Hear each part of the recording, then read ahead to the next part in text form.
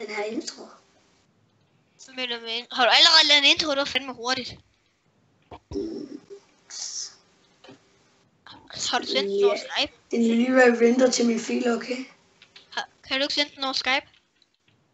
Jo, jo, men den skal lige render til min fil, så jeg ikke sende den.